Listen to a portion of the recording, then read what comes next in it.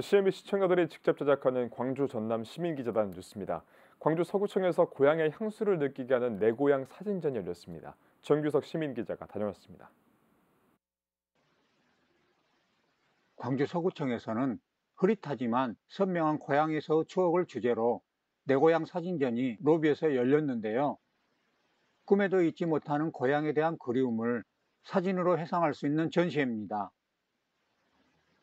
시민들이 관심을 두고 사진을 자세히 관찰하며 자신의 옛 시절과 고향을 떠올리는데요.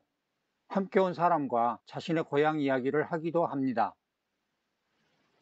지금은 철거되어 흔적을 찾아볼 수 없는 옛 서구청사 모습이나 많은 주민들 삼터였던 염주 주공 아파트, 농성동 조달청 모습 등을 사진 속에서 만나볼 수 있습니다.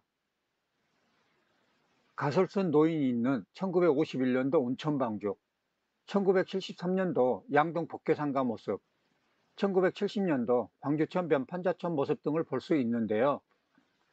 건물뿐만 아니라 가족과 친지들이 함께 촬영하여 추억으로 간직하는 모습도 있습니다.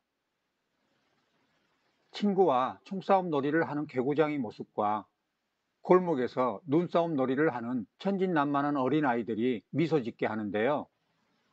사진 속 아이들이 지금은 어린 시절 자신만한 아이들을 키우고 있는 어른이 되어 옛 친구를 그리워합니다.